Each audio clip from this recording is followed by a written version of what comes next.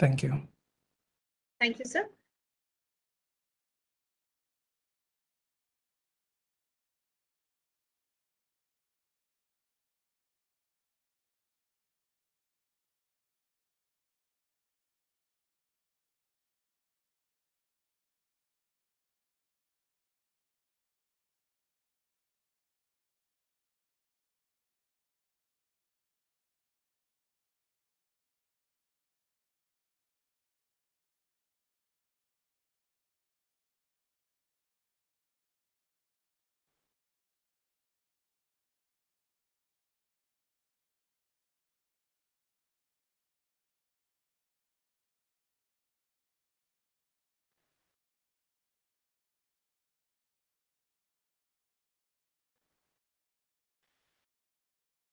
So welcome back participant. We are starting the second session for day one.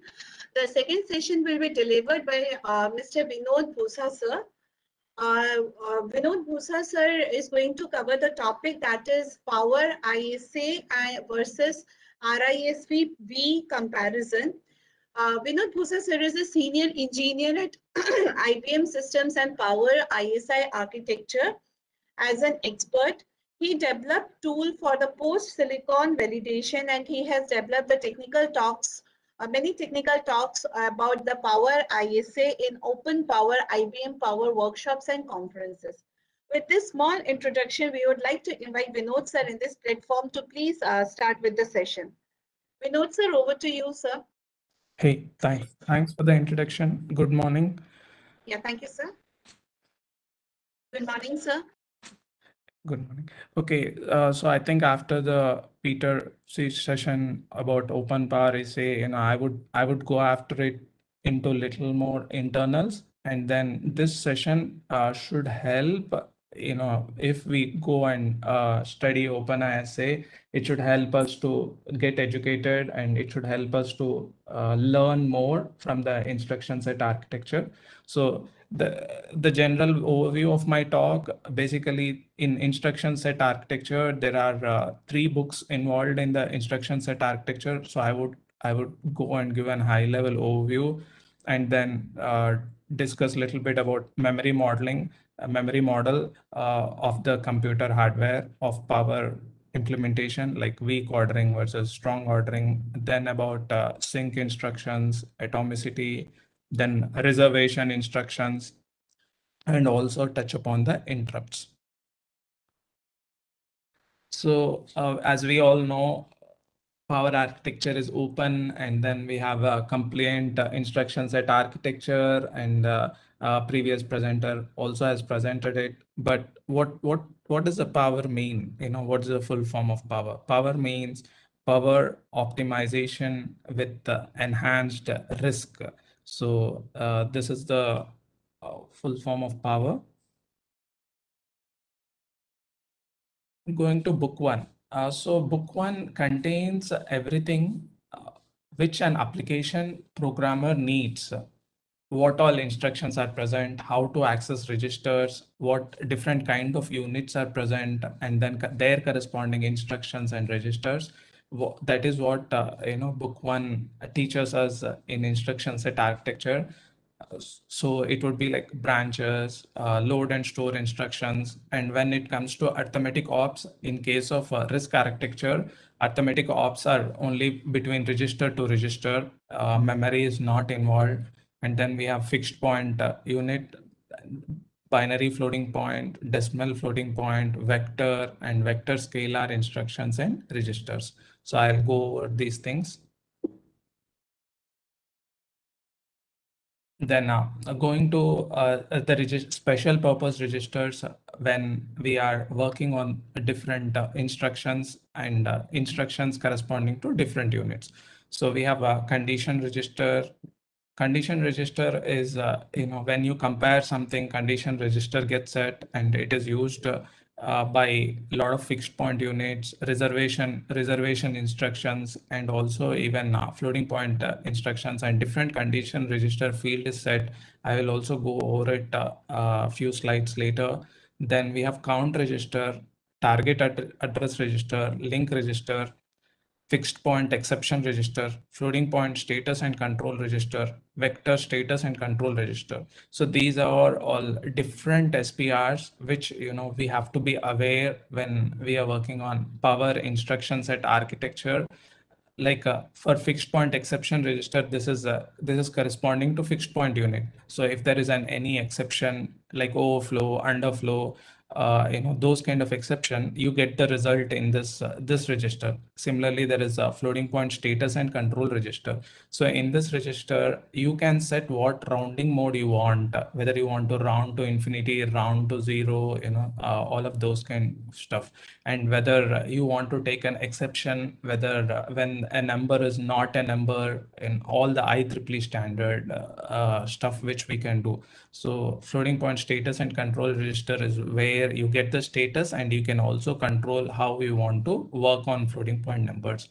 Similarly, uh, uh, VSCR is vector status and control register. When you are working on vector instructions similar to FPSCR, you can control what, what do you want to do? Uh, how do you want to control the numbers uh, you're getting, how you want to operate on them and the status of those instructions. Uh, moving on to branches.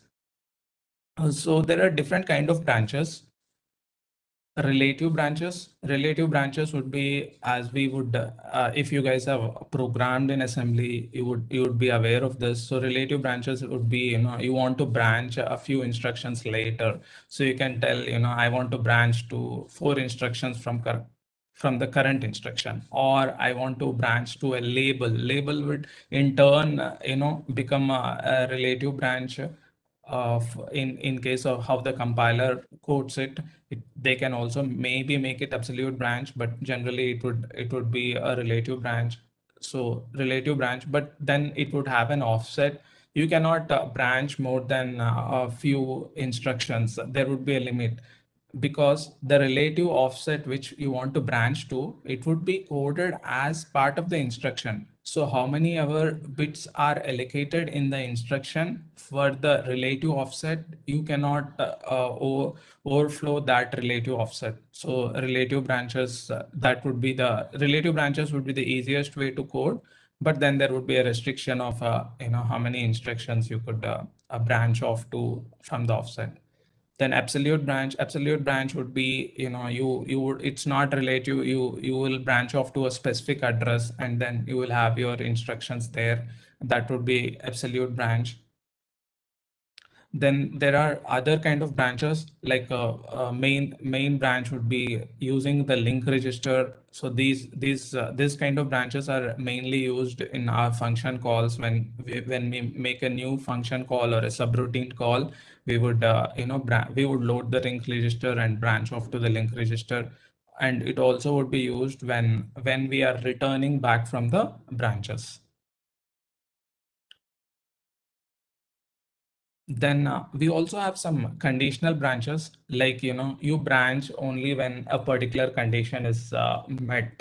So those would be uh, starting with uh, mnemonic bc and then uh, uh, like the, the places these could be used if we if we map to our programming languages would be for loop or while loop you know all of these loops where you know you would you would loop until a verb in a for loop until some, some certain number is reached. When you increment some number like maybe i 0 to 50, you know, till 50, you know, you will branch, but you have a condition only till 50 you want to branch. After that, you know, you don't want to branch. So those would be conditional branches so they, they would depend upon so internally branch condition for loops will be implemented using branch condition and they can use different registers how they want to implement. One of the register could be ctr count register.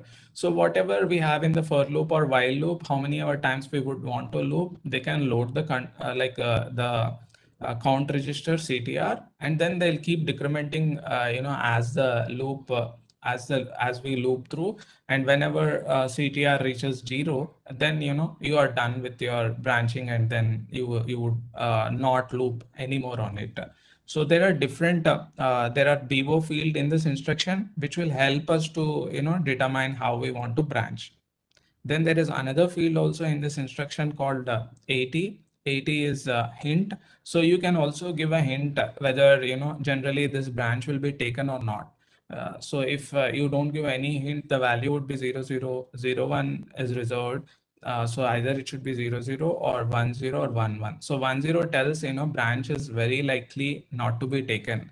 And 1, 1 is branch is very likely to be taken. So microarchitecture will use this information, uh, you know, to uh, to decide whether this branch is taken or not, and he can speculatively execute the instructions uh, which are there after the branch or he has to or a branch taken path or not branch not taken path. So hardware microarchitecture hardware will use this uh, feature uh, to you know speculative speculatively execute the instructions or uh, even prefetch the instructions. From where does he has to prefetch the instruction? Should be branch taken path or branch not taken path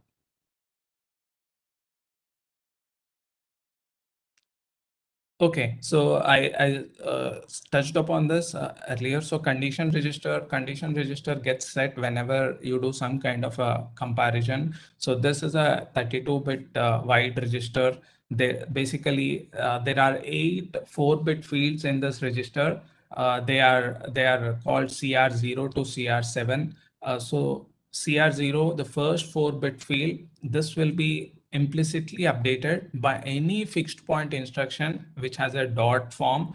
Uh, so when whenever there is an instruction with a fixed point instruction with dot, uh, it, it, basically we are telling you know you need to update the CR0 uh, at the at, after you execute this instruction. So uh, all these instructions will update the CR0, and then one of the one of the example would be stux. Stux is a uh, you know like a store uh, with a reservation. So if you have a reservation, then you will store, and then if the store stux is successful or not is uh, is recorded in CR0. It's a dot form instruction, and the success of this instruction is recorded in CR0. Similarly, CR1 is uh, implicitly updated by all floating point dot instructions. So those would include uh, binary floating point, decimal floating point, and vector scalar uh, instructions.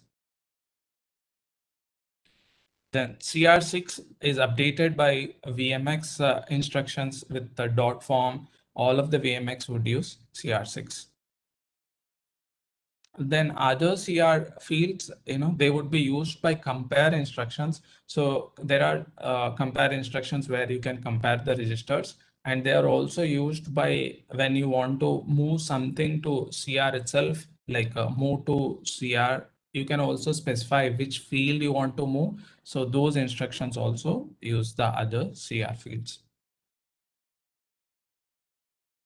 So there are some instructions where you can modify the CR like CR and CR NAND, CR or CR NOR. So we all know the AND, NAND, or NOR. So you can manipulate the CR, what, what the value is there in the CR, CR by using these instructions.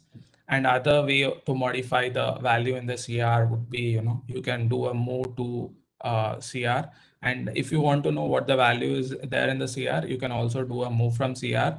And the, if you want to only read a particular field in CR, then you would do move from, uh, you know, like a, a MF or CRF. So that will only move a particular field uh, from the CR. Similarly, you can also move to only a particular field in the CR using, uh, you know, move to OCRF.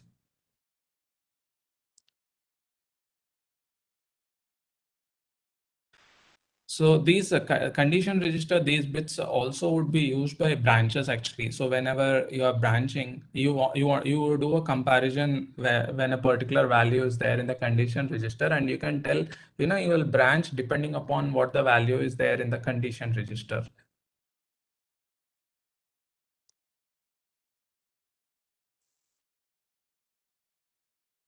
We touched upon the count register. So branch can be, you know, like branch can happen over the count count count, uh, count register, uh, like like a example of a for loop where you know the count decrements and then you, you keep branching until the counter is zero. and uh, other way the count register is used is also you know you whatever is there in the address in the count register you can branch to that address the basically count register is used as a target address that would be another way to use count register. Then there is also a register called target address register. It's somewhat similar to count register but uh, the, here uh, you know there is no decrement or anything. You this register just holds uh, what is the target address address and you will just uh, branch you can use that register to branch off to that address branch to target address register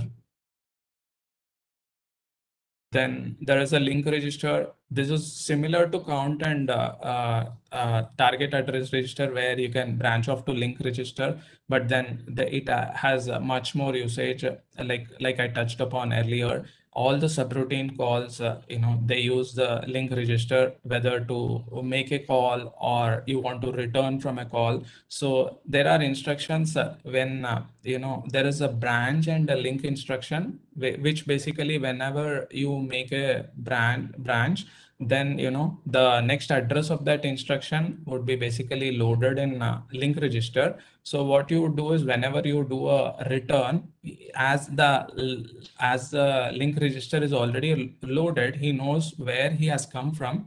So he will branch off to the location from where he has come from.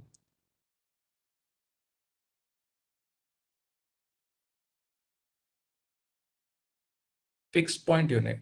So fixed point unit, uh, there the operate there are different operations which happen in uh, fixed point unit, fixed point instructions. So the op operations are you know like a register to register.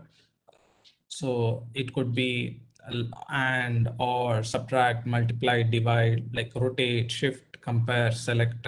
So these are all different kind of instructions we, which we, if we take, we, if we take any high level language like C or any language, we do all of these operations. So internally, all of them would be converted into assembly instructions like uh, add, subtract, multiply, divide, and all of this. And these would be operated upon these these instructions would be uh, you know dispatched to fixed point unit and fixed point unit would be who would be executing these instructions then there is an instruction called trap.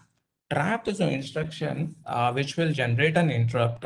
Uh, you can you can tell you can ask uh, ask a program you know to trap if you if you if you think that is something which uh, should not be done like there is some condition like uh, if you expect some variable to not have a value zero and you want to trap whenever the value is zero so here you get a program interrupt and then you know then that that's one way to trap the processor. So there is an instruction called trap.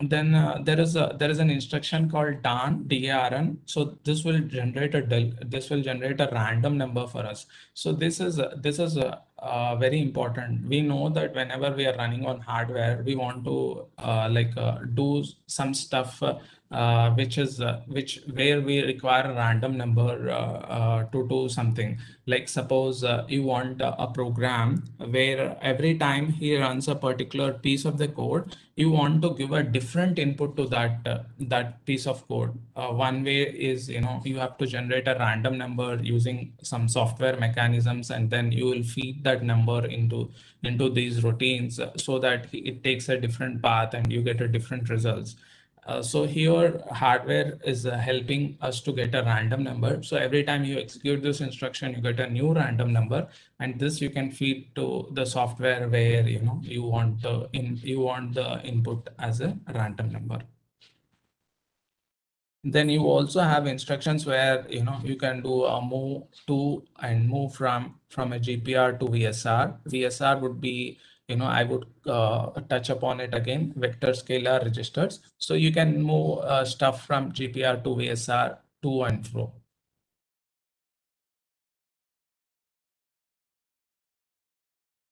After fixed point unit, we have floating point unit. So floating point unit, uh, IBM uh, processors power instruction set of, you know, uh, compliance with the IEEE standard. So uh, they they implement all the floating point uh, uh, instructions as per the IEEE standard. So we have different uh, floating point units. Actually, one is uh, BFP called binary floating point.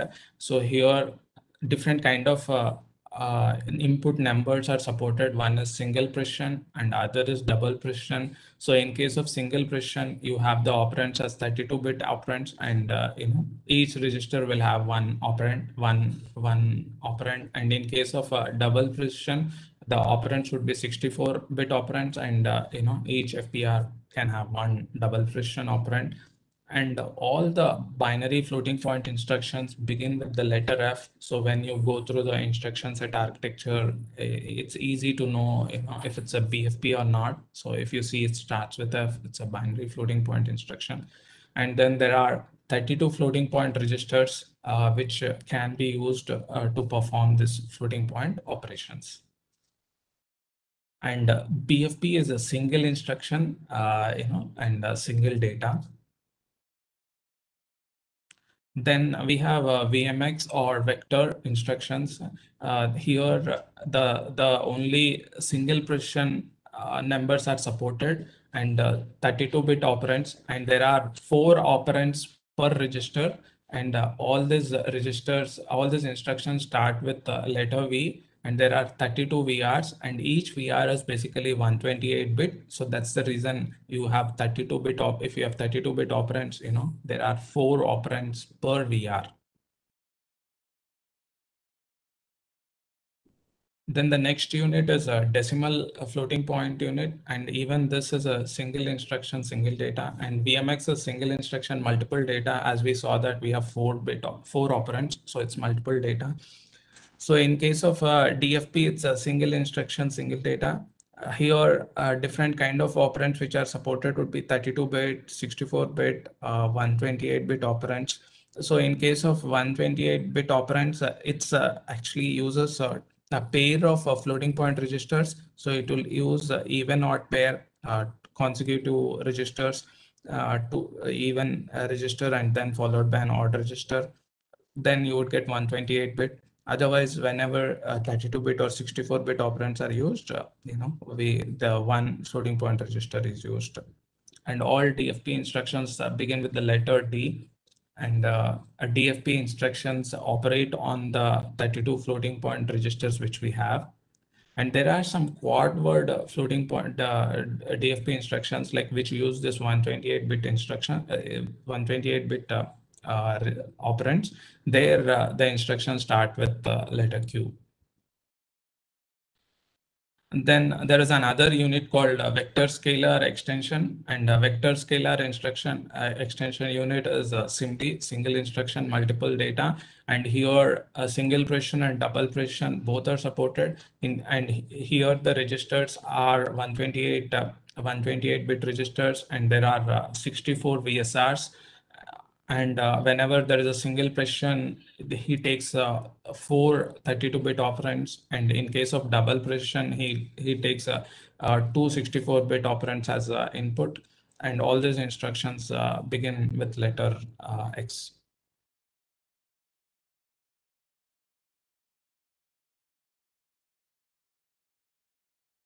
Okay, so uh, till here, it's uh, more of uh, what all units are there, what kind of instructions are there, what kind of registers are there, and that is uh, mainly book one at an high level.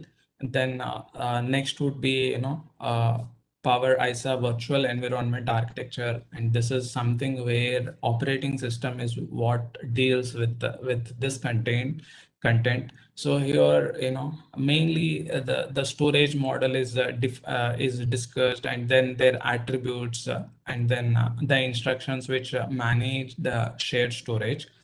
So there are different kind of storage model, like it can be weakly ordered or strongly strong access ordering. Then there is, you know, the caches and how how are they uh, how, what are their attributes, whether it's a write through or cache inhibited or memory coherent or your memory is guarded. And then there are cache management instructions. And when memory is accessed by different instructions, uh, whether it's accessed on the same thread or a different thread, you know, or you have to synchronize those accesses. So the help from the hardware to do, do that. And then I would also touch upon sync and, uh, you know, EIEIO instructions, then atomic access instructions.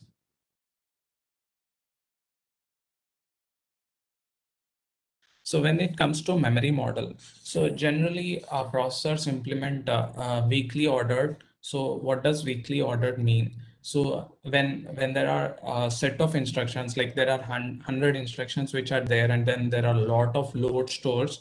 So access to different bytes can happen in any order. Uh, by this, what I mean is suppose uh, there is a store which is like first instruction is doing a store and maybe 10th instruction is doing uh, store like a first instruction is doing store to location A 10th instruction is doing store to B. So the access to A, access to location A and B need not be in programming order. So access to location B, which is accessed by 10th instruction, that access can happen before the access to uh, location A by first instruction. So that's the reason, you know, the, this called weakly ordered and uh, access to different bytes can happen, appear in any order. And uh, uh, that's what is called weakly ordered. But then there is a hardware support. Uh, see, if, if those locations are not in any way connected, then uh, the program is okay to access them in any order. So those those two are completely different uh, locations, and uh, you know they are not like your program doesn't depend on the values of those two locations. The the logic is not in any way connected. Then you know it's uh, if it's uh, weakly ordered, and then uh, you don't have a problem, and then it allows the hardware uh, to use this feature microarchitecturally to give the be best results like uh, uh, you know do the accesses very fast program to be very fast and you get the performance out of it but there would be a problem if there is logic in the code, uh, the software code, which is using these locations. There is some interdependency how the code is using. They want uh, like the first instruction access, whatever happens, they want that to happen before the you know next instruction access. Then there is a support given by hardware. They can use uh, instructions like uh, EIEIO or sync instructions. Basically, what if there is a sync instruction, he will order this uh, uh, order these uh, accesses which happen. I'll again touch upon it. then other part to weakly ordered is if the access is happening to the same location, like uh, uh, when we do a store to A and a store to B, and this A and B are actually overlapping locations, or in case they are exactly same locations, like I am actually accessing the zeroth byte uh, you know, of a certain page in both of these accesses, then, you know, uh, the, the accesses should be like a sequentially execution model, like it should be in programming order, and you don't require any string sync instructions here. So what hardware does in weakly ordered is only when the locations are not overlapping or only when the locations are not uh, same uh, then you know he would he would not guarantee us the order in which these accesses can happen. But whenever that the locations are same then you know he hardware does the accesses in programming order. And if you do if you want the accesses to be in order of those which are also not uh, same the locations are not same hardware does provide the support we can use use the sync instructions. Okay, memory attributes. So there are uh, different memory attributes uh, that are uh, used by hardware. They're basically called uh, WIMG uh, in short, like uh, W for write through, I for cache inhibited, M for memory coherence, and G for guarded. So what does write through does? So if the value is one, whatever access happens to the cache, it's immediately returned to memory. That's what is called write through. But if it is zero, then writes to cacheable memory are not immediately returned to memory. So what cache we, we know is, uh, you know, like the buffer of the memory, which is uh, which is on the hardware, which is not far off like memory, where you can access very quickly. So this write through will decide how we want it to be. So obviously, if you want to, uh, if you set the write through to one, uh, you are basically you know writing everything whatever is there in the caches to uh, memory immediately. So you, you would have a performance impact on it. And if you are using a zero, he will only do a uh, you know write whenever it's required. And when is it required? Suppose the same location is being accessed by some other thread or some other core. He knows that you know who has the recent copy, and then that that particular thread from that cache, you know, it is returned back to the memory. So uh, write through uh, you you you can gain performance uh, when when you have zero but then you have some certain application or certain way where you think you know one is what you want. You cannot live with uh, not writing to the memory immediately. Or you know that this particular uh, you know uh, location whichever is being accessed would be accessed by a lot of threads lot of cores uh, uh, simultaneously and very fast. Then you can go with uh, write through so that you know it's really written off to memory and others can access it then the next attribute is uh, cache inhibited. So cache inhibited is something where you some some accesses where you, you uh, if cache inhibited is zero, you're telling you can uh, cache those locations. Those are cacheable. And if it is one, you know, you don't want to cache those locations. And generally, you know, IO is where it goes into cache inhibited uh, wherever IO is involved.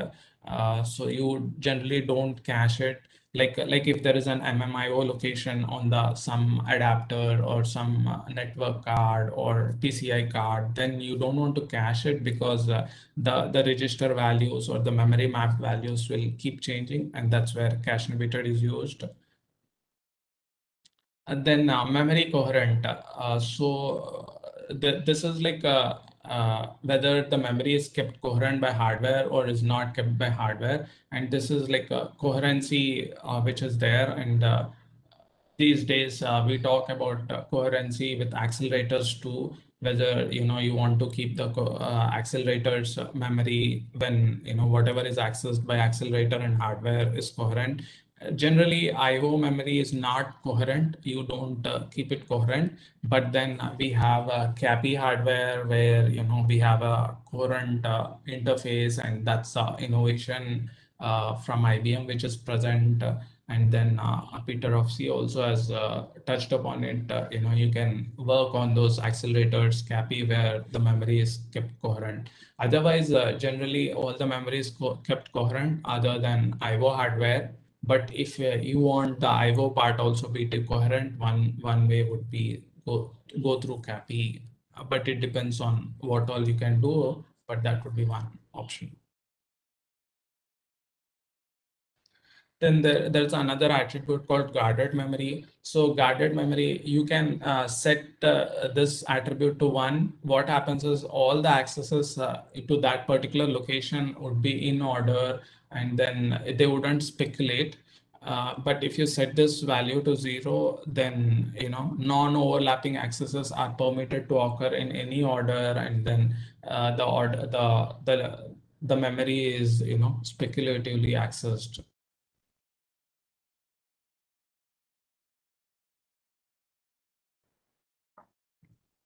Okay, then we have uh, LARX and STCX. These are reservation instructions Uh, as we know, there, the, when we write programs, there would be critical section. Uh, we need uh, some location to be accessed only by one thread, though it's a shared memory. So that's where uh, these instructions are used. So we may be writing a semaphore or a mutex, but internally on power hardware, what it gets converted to these instructions. So uh, load, LARX is a load and reserve, and there are different granularity of these instructions. You can do a load and reserve on a byte, half word, word, double word, quad word, and then uh, uh, these, this reservation gets uh, set. And then whenever this one particular thread executes this instruction, you get the reservation set. And once the reservation gets set, uh, you know, like uh, when when you do a store, if your thread has the reservation, then that store would be successful. Uh, that that would be store conditional, and then and even in store conditional, you have all those granularity of instructions like byte, half word, word, double word, quad word, and then uh, store when you do a store it's uh, you know like uh, when only when it's you have still the reservation because all the threads are trying to uh, do a store here. They they try to do a load and reserve and then also a store if uh, you know whoever gets the reservation. Uh, it's like you know you're you're looping like on a semaphore or a mutex. So that's the situation here. And whenever store is successful, your CR0 gets uh, updated, and that's uh, how you know that you are you are successful. You got the access you can go ahead. And if you don't, did not get, then you will uh, continue this lo loop of, uh, you know, go back and do a load, then get a reservation and then do a store.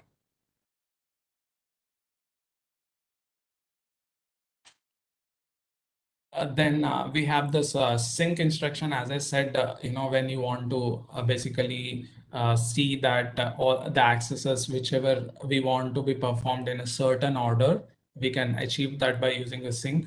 So it's like a barrier. So any after, if there is a sync, any accesses which are there after sync would be only performed after all the accesses which are there before sync are, you know, completed. Uh, and uh, sync instruction is also, uh, it, it does this, uh, you know, like this, this kind of barrier part for both cacheable and non-cacheable accesses also. Something if you are accessing even the IO, uh, this, this sync instruction would take care that all the preceding load stores are completed before the ones which are after the sync. And the, this sync can be performed, uh, you know, between load and load, uh, load and store, store and load, and store and store, all the all the four combinations.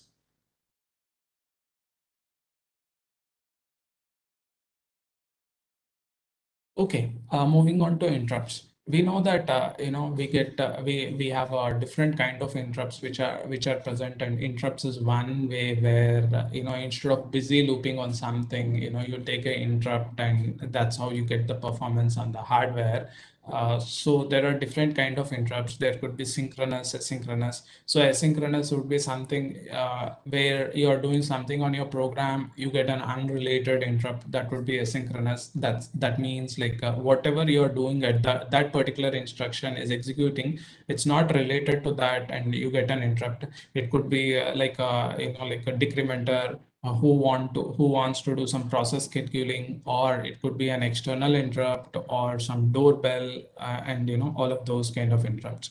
Uh, whereas synchronous synchronous interrupts are something uh, which happens due to the current instruction which uh, you are executing. So you if this instruction is accessing some unaligned memory or this instruction when it is accessing some memory it doesn't have a you know translation to that the location he is trying to access so he takes an interrupt, then, you know, application program may be executing some instruction, but he doesn't have a translation to a particular real address he wants to access, like a load or store. Then he would get an interrupt.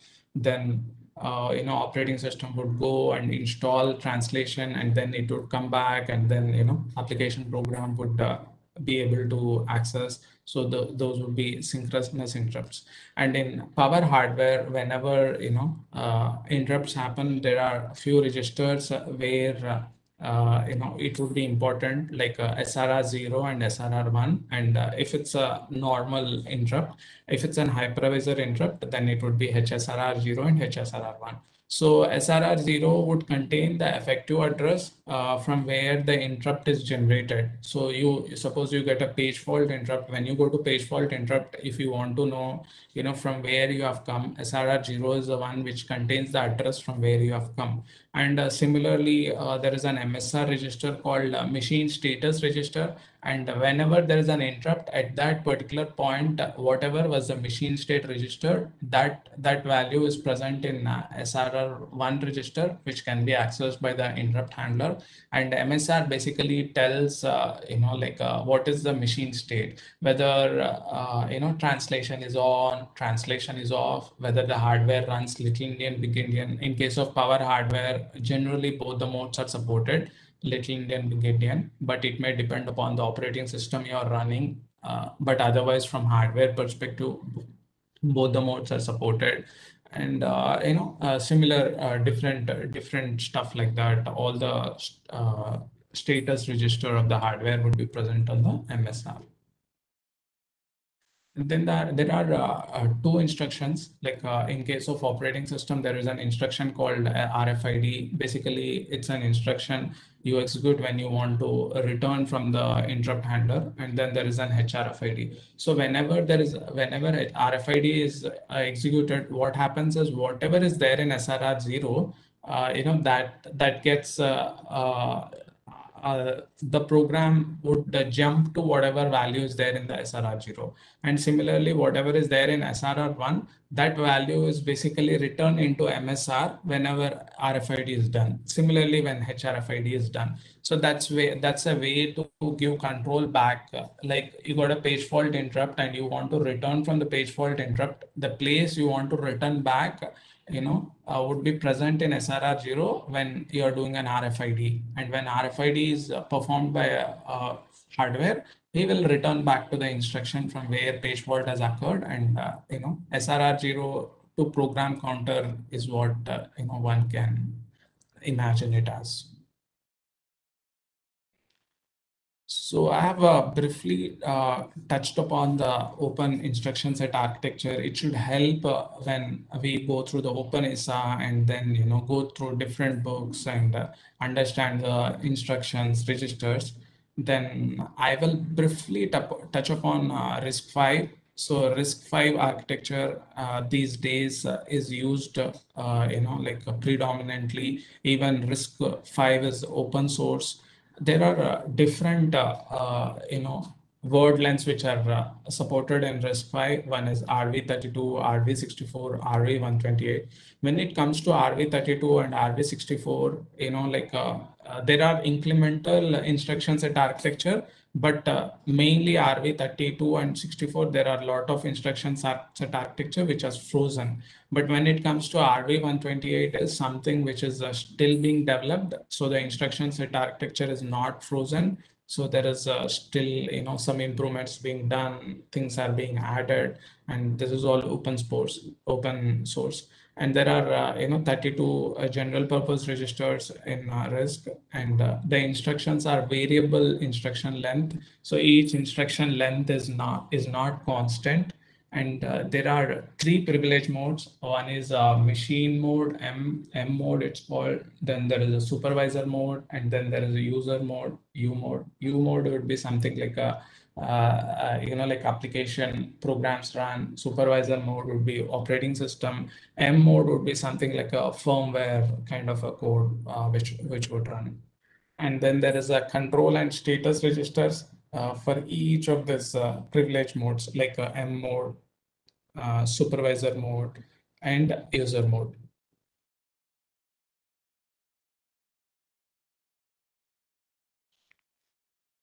And uh, in RISC uh, RISC-V, actually there is like a, a, different kind of ISA extensions. So you know it depends on what one wants to implement in their processor. Uh, so they need not have everything. So uh, they have uh, subsets or they are called extensions. And standard name naming convention is RV stands for RISC-V. Then uh, 32, 64, 128 uh, tells you know their machine word length or what is the register length and then they have different kind of extensions. Uh, and some of them have uh, you know like uh, uh, given here i stands for integer then uh, m stands for you have uh, you know integer multiplication and division. A stands for there is atomics also present f is a floating point single precision floating point d is double precision floating point. G is general purpose. So whatever is there till now, I, M, A, F, D, you know, would be general purpose. So somebody may, uh, if they if they take all of that, there would be, you can just use G and, uh, you know, you, you would be uh, conveying the me meaning to them. And then uh, C, C is 16-bit uh, compression instructions then H, is uh, if, if there is a hypervisor extension also, and uh, V is a vector instruction.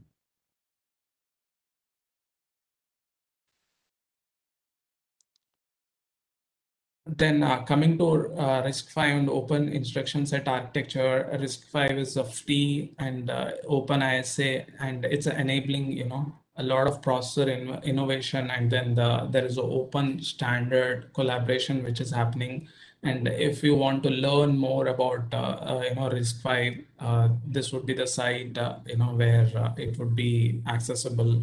And similarly, uh, OpenPOWER ISA is a very high performance instruction set architecture. A lot of servers are implemented based on OpenPOWER ISA. As my previous speaker has uh, given a chart when, you know, uh, which processor like P7, P8, P9, and as all know, P9 is a hardware which is uh, working on a supercomputer. There are supercomputers based on P9 hardware. So it's a very high performance instruction set architecture. And then there is this instruction set architecture is open source and it's accessible know, in the following uh, site. And there is a lot of information on this Open Power Foundation org uh, site if we want to know more about it. Okay, so I think uh, this is all I wanted to cover. So I think uh, we have some time. I wanted to have some time at the end if there are any questions. So I'm open to questions.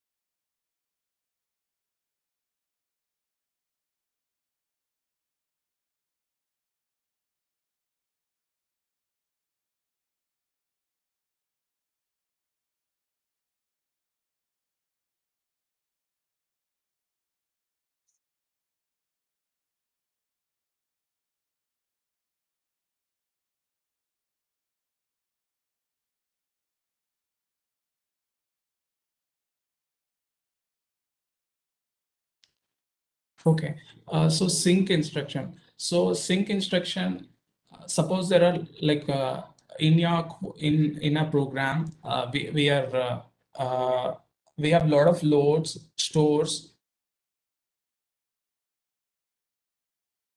there are a lot of loads and store instructions, and the way we are using the the this the results of the load and store instructions suppose there is some dependency. Suppose I am uh, loading a particular variable called x. And if I want to use that x to calculate the result in some operation, suppose I'm doing a multiplication on x or something of that sort, or a division, or I'm I'm using it as a parameter to get a new value called uh, y. But then there is a, some other variable also y is dependent upon, like uh, you know, and there is an interdependency between these two locations which can be accessed so if you do a sync instruction in between, you know, you want two instructions. Suppose you want location A and location B to be accessed in order. After location A is accessed, only then you want to access location B, then you can use a sync instruction in between. And uh, the reason sync instruction is required in between is these locations A and B are not same locations. You are not accessing the same location due to which you need a sync instruction. Because what hardware does is whenever the locations are not uh, same locations or not overlapping uh, locations hardware does some optimization. He does does uh, you know speculative access of the memory caches uh, so that you know you get a better performance. So what he does is he can access location b earlier to location a but due to whatever reasons in our program, if we are writing code such that, you know, only after reading A, you have to read B location, then you can place a sync instruction in between so that, you know, your access happens, hardware uh, accesses those locations as per your requirement, whatever program wants to do. And uh, sync instruction can be done between a load and load, load and store, store and store, you know, all those four combinations. And this instruction also uh, does this ordering between cacheable memory and non-cacheable memory. Like if you are even doing an MMIO or an IO access, even there, if there is a load and store, there is some load and store to cacheable memory and there, there is some load or store to non-cacheable memory. Even then the sync orders those, uh, you know, uh, access of those locations. So that's uh, about sync. Then coming to quad word DFT instructions, that is true. All of them start, it, it's not end, they start with Q. Uh, okay, from where to start if we need to study RISC-V? Uh, so uh, the RISC-V, uh, the site I've mentioned, that would be a good place to start. That's an official site. Actually, riscv.org would be the site. And if you want the instructions at architecture, then it would be riscv.org technical and then, you know, specifications. This would be the site.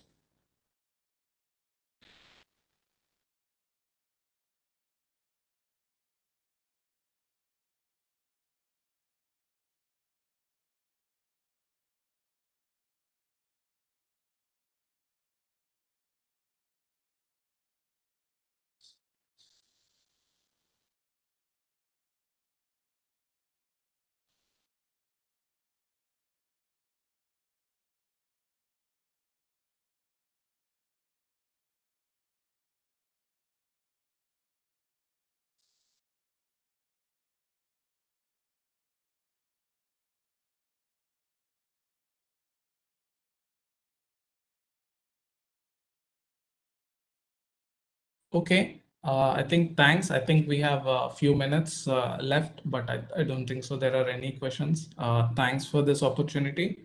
Uh, then I think uh, uh, you guys can take over. there are some questions in the Q&A window. I answered them. Are there any Okay. more? Okay, on slide 18, how many letters minimum or maximum need to write in the end? Like like uh, RV32 uh, GI.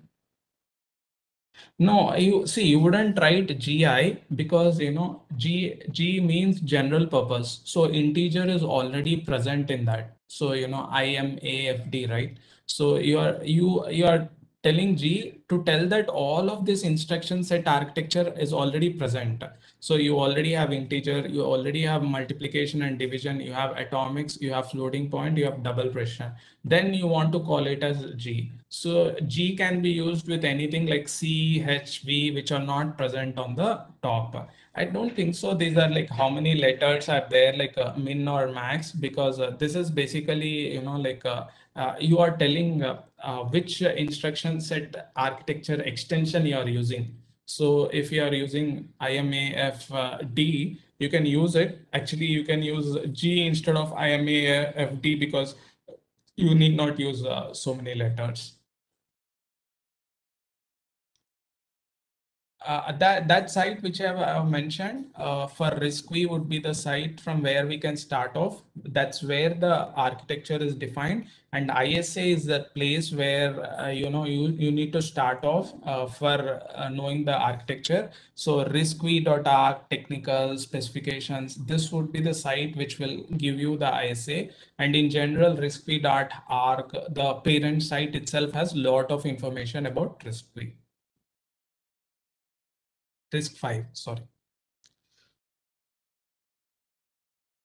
The weakly ordered memory model, is it the OS that controls the access or the hardware?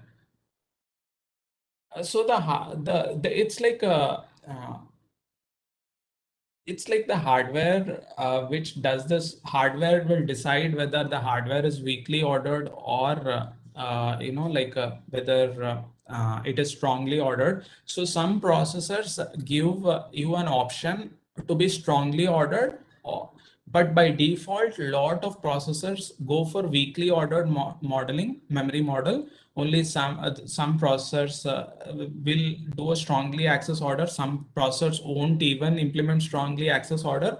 And when they implement strongly access order, they give the programmer uh, an option to you know use the strongly access order so in as strongly access order as the word means the way the accesses are done you know they are ordered like a programming order you know you will order the the location the loads and stores and uh, you would lose on the performance uh, but then you know you need not use sync and all of these uh, instructions uh, but then you would lose on the performance. So, but for performance, uh, all the almost all the processors implement weakly ordered memory model, and it's the hardware which it implements and not the OS that controls.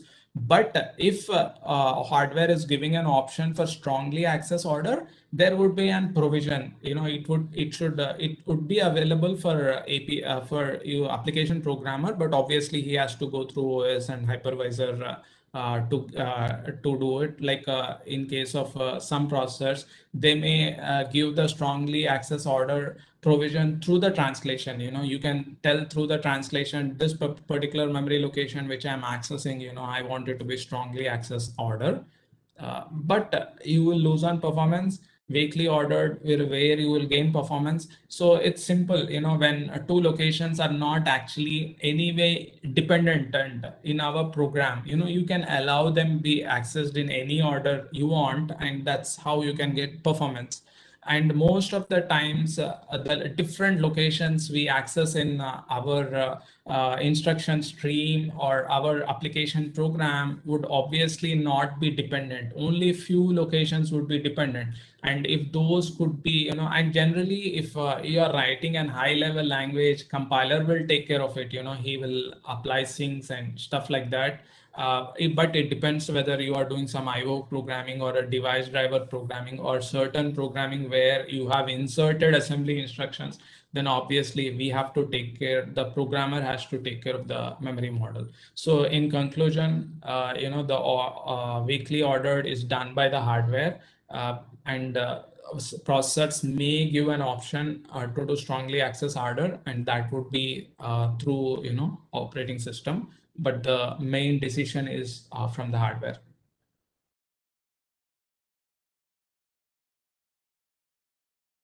Uh, access to a variable A and then B, which is 10 instructions apart, who decides whether to access a variable B or not. So uh, see, uh, we know that uh, in this uh, server processors, uh, what happens is there are a lot of instructions which are pre prefetched and then you know you would be actually speculatively uh, accessing these instructions. One way is one easy easy way is suppose there is a branch instruction. Uh, you know that for a branch instruction there is a branch taken path and not taken path and till the hardware really goes and executes uh, you know that branch instruction we do not know whether we would take a branch taken path or not taken path. But in microarchitecture in hardware there are a lot of algorithms you know which uh, which predict whether the branch will take will be taken or not taken. So depending upon the prediction, hardware will go and do a prefetch of uh, instructions and then he will speculatively execute the instructions.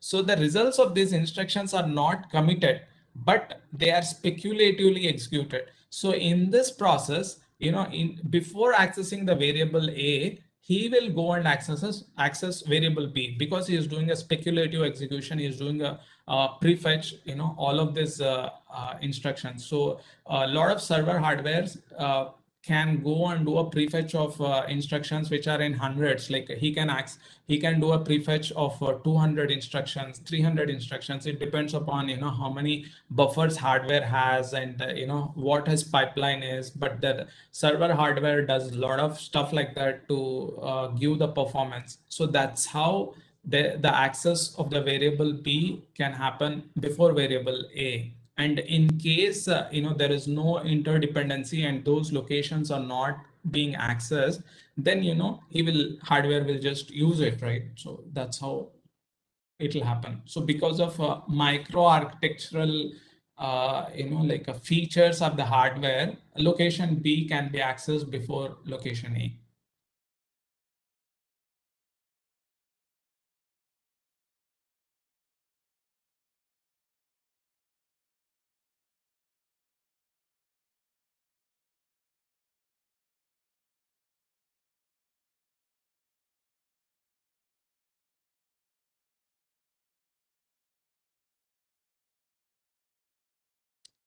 Okay, I think we answered all the questions. Thank you. Thank you once again for this opportunity and uh, all the best for future uh, uh, program.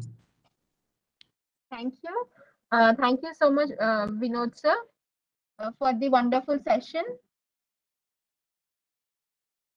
Thanks.